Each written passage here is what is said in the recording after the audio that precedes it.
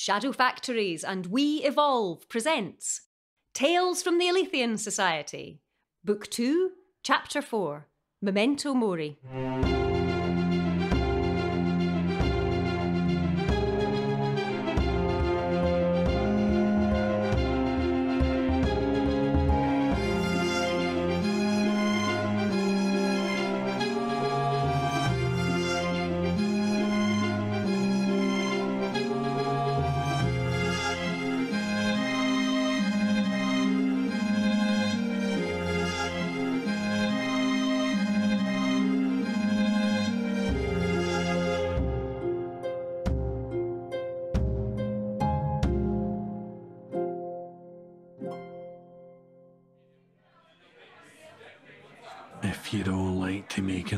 An orderly queue, I'll now be beginning with the death forties in the parlour. Mind and crowd in, these things aren't cheap. I suppose we'd better go up and take a turn, eh, Godalming? Although I find it terribly hard not to mug when I see a camera. I think every photo Sophie and I have together, I've got a big stupid grin on my face. Probably not appropriate for the occasion. I think most people would say you've had a lot to be happy about, sir. Yes, I suppose so. But sometimes, I don't know. I just feel as if everyone else is having a conversation I'm not involved in. Next. Aye, get right in there. Aye, put your arm around them. He will not bite. Damn, sure I had my eyes closed. Not to worry, sir. I'm sure they'll get you again later. If there even is a later, eh? We always think so. But look what happened to him. Lo, many of those who sleep in the dust of the earth shall awake, some to everlasting life, and some to shame and everlasting disgrace. Oh, I can guess which way you think my bread is buttered. Where in the juice are we anyway? Not in the coffin, at least. Thank God. We were buried alive, without one of the, the patented bell thingamies to let everyone know. That Schwein Mortimer held us at gunpoint. Pistols are funny things. You never know when one's going to misfire, eh, Auntie? I told you your weaponry needed checked more often, Hieronymus. It's a poor workman who blames his tools. I'm not blaming the bloody tools, I'm blaming you. I assume this is part of some scheme and not just incipient dementia. What were you planning to do if they just killed us out of hand? They don't always monologue, you know.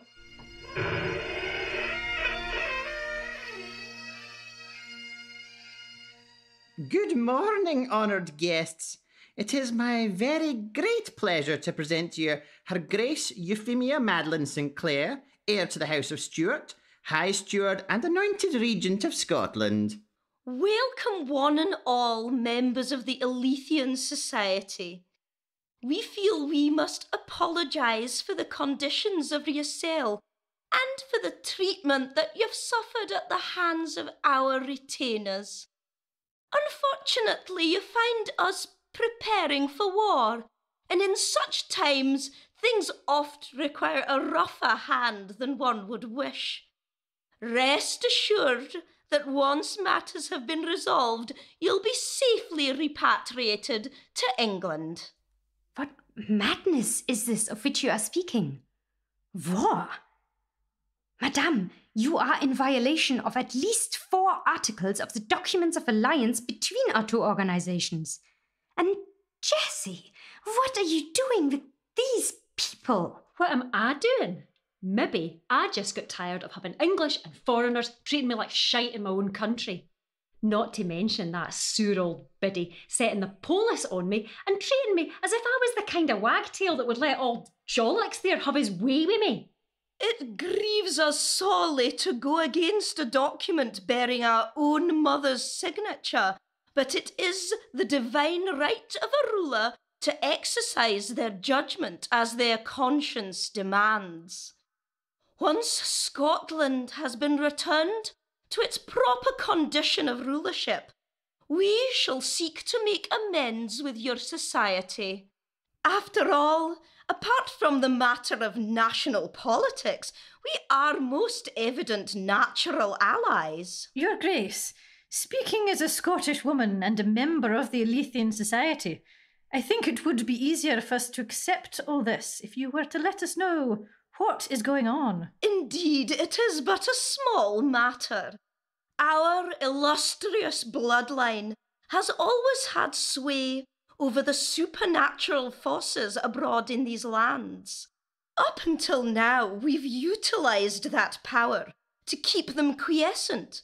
But now we have decided to utilize it in a more direct manner to force the British government to accept our claim to throne and rulership of Scotland. Good God, woman! What are you planning to unleash? You watch your tongue in the presence of royalty, you impudent wee manny. Dinna fash yourself. I know what Ballface here needs to keep him quiet.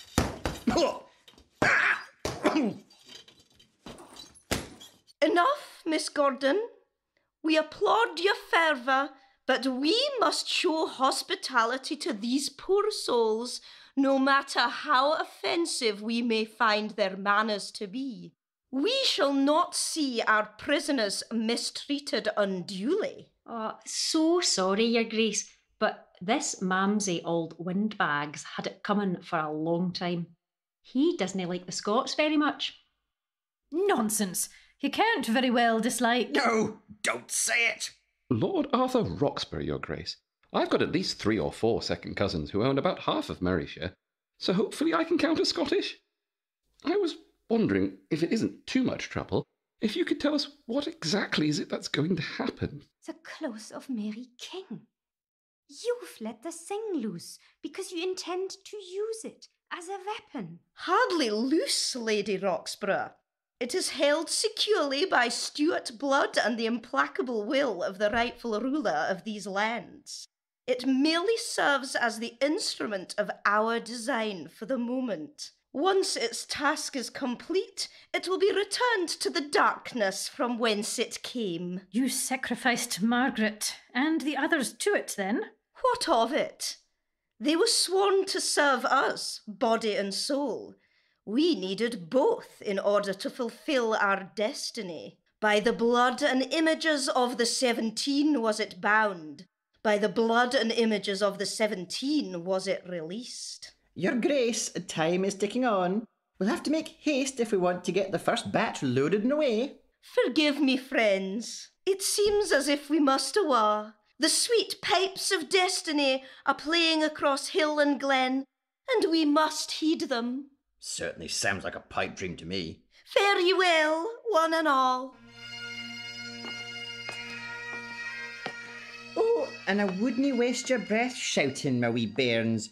You're too far underground for that to do any good. These bars were built to hold the Duke of Queensberry's flesh eating giant of a son, so you're not going to be breaking them. Best you just bide your time here. Bye bye now.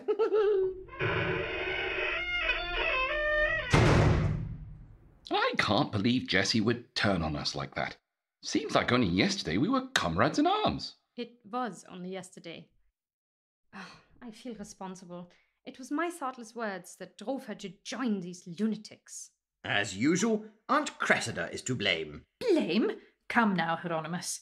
I know she must have passed you something. There's hardly any other reason she would have touched you voluntarily. Ugh, yes, she planted a set of lockpicks on me. Didn't spare the boot leather while she was at it, though. Your plan worked, but I still say you got damned lucky. Don't always monologue, indeed.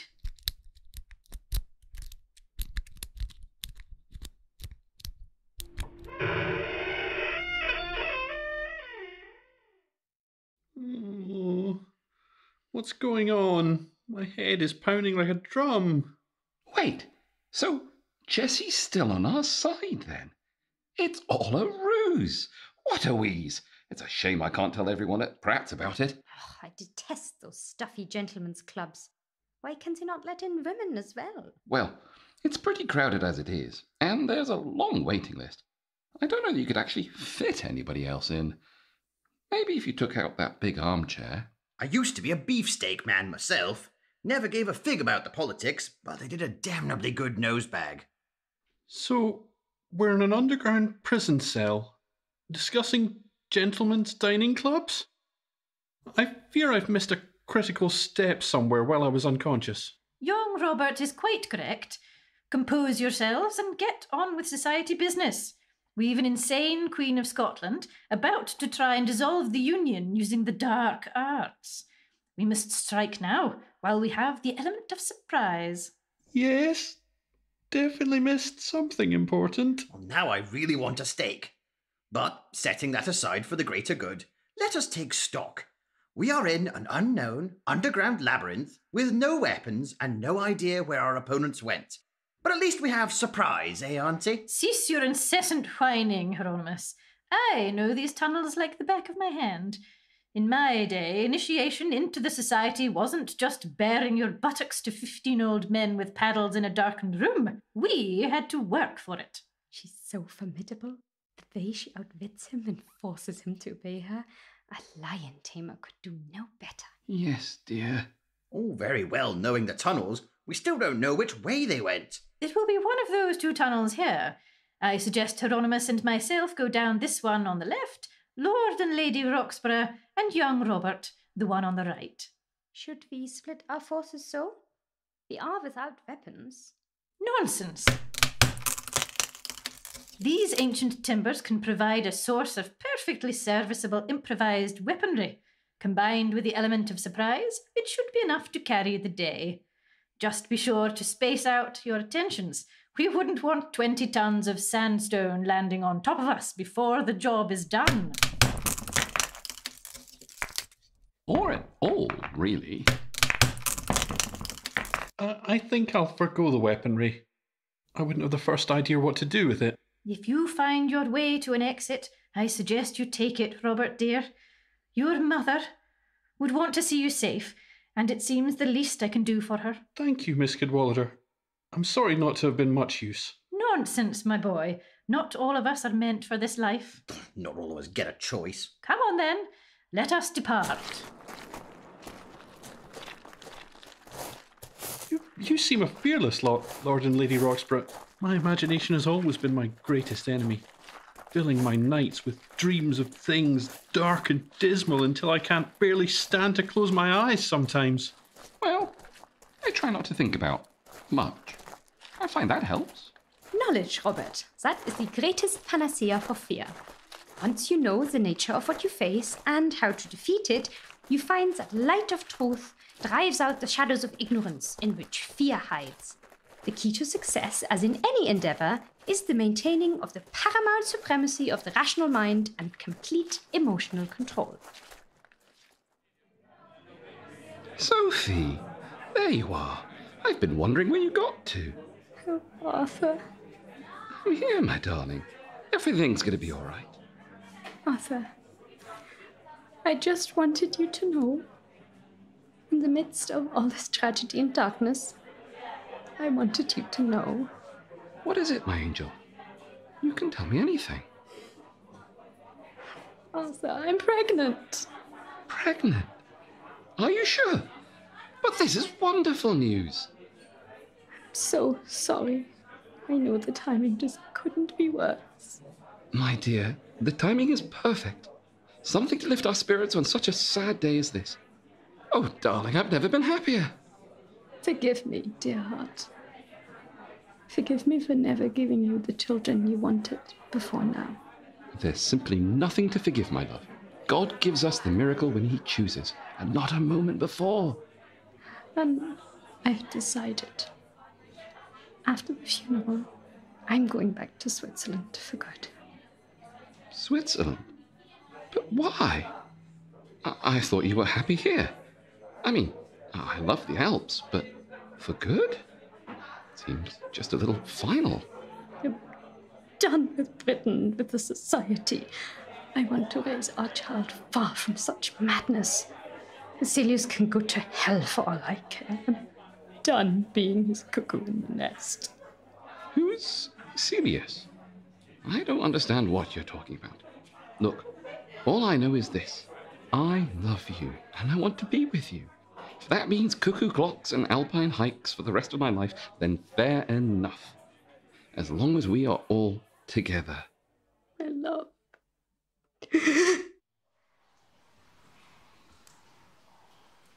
So, want to tell me what all that dreadful mummery was about? Don't believe I've ever known you to be sentimental. Why'd you send the boy away? and spare me the tedious denials. Margaret and I, we were very close when we were younger. How close are we talking here? Auntie, are you are you a sapphist? Don't be ridiculous, Hieronymus. Oh, sorry, just seemed like a penny dropped there for a moment, and Women don't do such things. uh, no, Auntie, I'm sure you're right. Not for free, anyway. Cressida, What in the blazes was that? Cressida, you've come back. You said you would. I waited and waited until the candle burned down. I was so hungry, Cressida, so cold. But you never came back, Cressida. Lillian? Is that you? Well, that's Lillian. We're on the right track. A phantasmal apparition of somebody you used to know, and it seems you manipulated them and left them to die in a god-forsaken hole. I'm not even remotely surprised. Cressida, come back, Cressida. I don't care about joining the society anymore. I just want to be out of here. I'm sorry, Lillian. We're all on our own in this life. I discovered that for myself all those years ago. And if you didn't, then you were never society material in any case. Lord, you're a cold fish, Auntie. And you are an overly emotional weakling. But we all have our crosses to bear. Sadly, you're mine. Come back. Some kind of shipping crate here. What in the deuce is that noise? Somebody got a set of castanets inside? There's a label. Hard to read in this light. I believe it's a post office shipping mark. This crate is bound for Waterloo Station. Stinks, whatever it is. I don't suppose there's any chance we can just chalk this up to blissful ignorance and continue our pursuit. We need to know what's going on here, Hieronymus. Help me with this. Gah, the stench. Somebody's intent on posting a rotting body to Waterloo? Not just a body, my boy. It's moving. Get the lid back on! Hold it still. I shall just trim off the pieces sticking out. Hang on a moment while I pile some loose boulders on top. So, that's their little game. Posting corpses to London. Mm, Act- actually, I mean, that's pretty pathetic, isn't it? A, a few sturdy dockers could have taken care of those scrawny brutes. Unobservant as ever, Hieronymus. Did you not notice the bluish skin? The piscine aroma? The clear fluid it was splattered with? No, Auntie. Bizarrely, my attention was focused on the fact the ruddy thing was trying to kill us. I'm not a doctor, but I've seen enough cases in my time to recognize death by cholera. Cholera.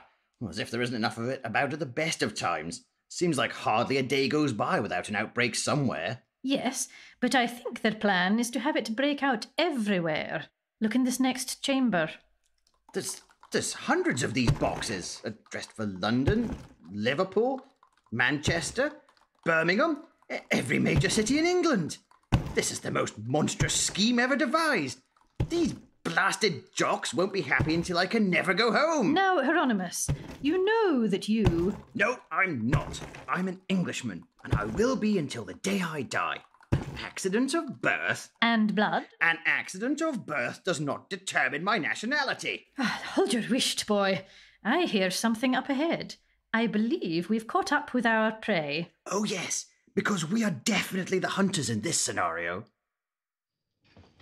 Right, to you, Morty. Lift with your legs. My name is Mortimer, not Morty. Oh, Morty boy, or heed the boy, you soap dodging gutter trash. Well, I'd rather be gutter trash than a than a peely wally wee corpse footer like you. How dare you? My family have served the members of the Unicorn Club for over a century. Oh, you make it sound like they're breeding you like prize dugs. Come to think of it, you do put me in mind of one of the wee yappy bastards with the eyeballs that stick out. A lapdog. That's what you are. I don't have to take this kind of abuse from you. I'm a master of the funerary arts and grand high mortician to the regent. Oh, aye. That's why she's got you helping to shift boxes full of leaky, stinking corpses, because she thinks that much of you. Can you two just not stop blethering and get on with it?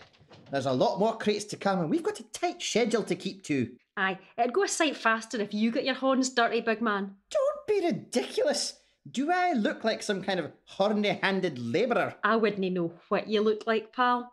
Something off of the cover of a tin of shortbread, maybe? Either that or an explosion in a tartan weaver's shop.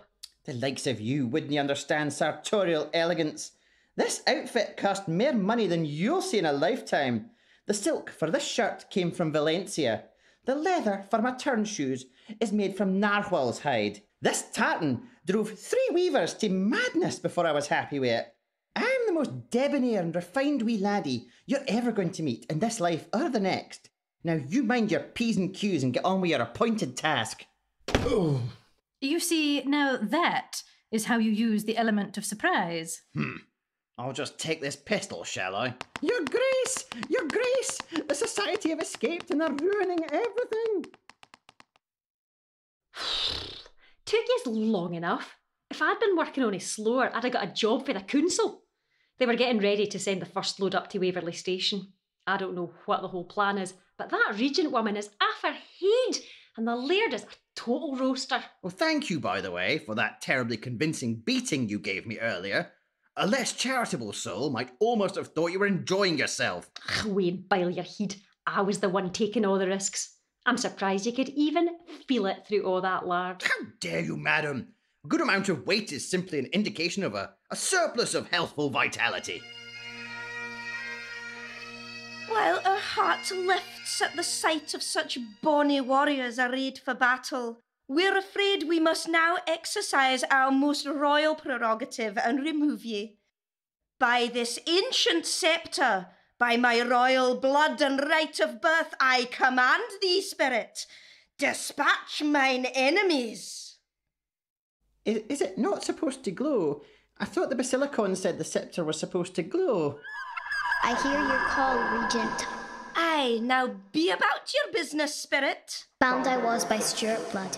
Released I was by Stuart blood. And commanded now ye are by Stuart blood. no, Euphemia. Your bonny prince spread his seed far and wide, but there's not a drop of his blood in your veins. But I should thank you properly for offering up the others to me. Come, join me in an embrace. No, back! Stay back! The sceptre compels. Compels nothing without the rightful heir.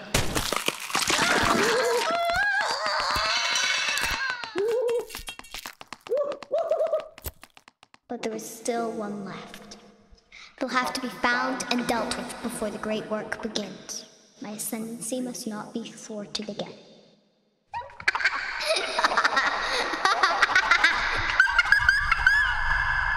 it's gone. What in the hells was that? It looked just like a street urchin, but whatever it did to the regent, she's just dust now. Gotcha. This sceptre thing, they thought they could control it with that. But who? Who is it looking for? Roll up, roll up. Get yourselves a swatch of the greatest show ever to be seen. Adults and children of all ages, this is pure culture. So get wired in like a tramp eating soup. Here, mister. What's your show about? Puppet Son. It's a Punch and Judy show. Pfft, they're all women, but which one's supposed to be Punch? Ah, you're a wee smart ass, aren't you? Well, if you look very closely, you might see Punch after all. Ah! Mom! Oh, no again. Everybody's a critic.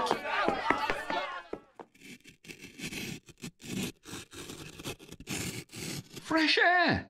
Daylight! We've escaped! It looks like we've come out somewhere on Arthur's Seat.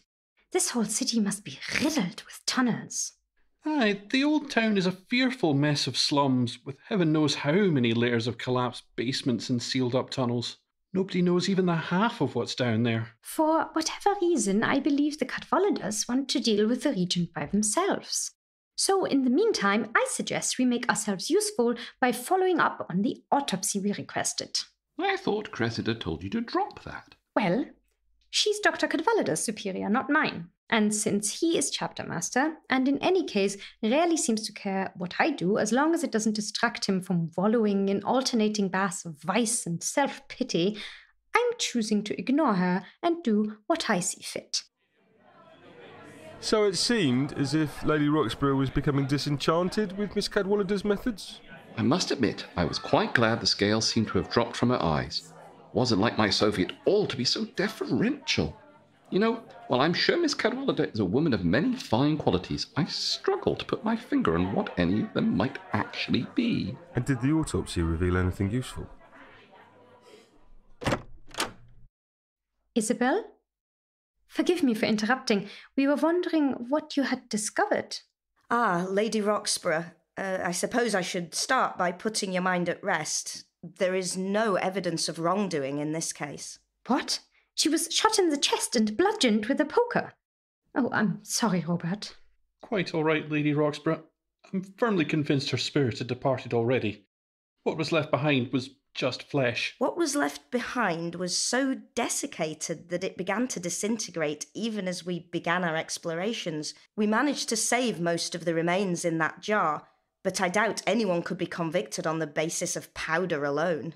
Is this normally possible? I can't account for it.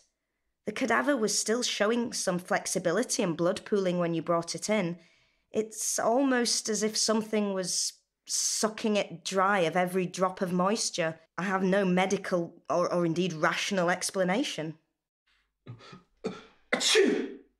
Oh, God! I'm so sorry. I've got your mother everywhere. Arthur, how many times do I have to tell you about opening jars and sticking your nose in? Did the incident with Dr. Cadwallader's cocaine teach you nothing? A- again, quite all right, Lord Roxburgh. Her soul is in a better place. That is very kind of you to say, Robert, but despite your protestations, I insist on paying for a funeral for for these trousers and anything else we can sweep up. Mrs. Thorne, is it possible you might have a broom about the place? And perhaps a spare pair of trousers? Oh, I can't a clue where this one step. From dust we come, to dust we shall return, eh? Mm-hmm. mm-hmm. mm-hmm. mm-hmm.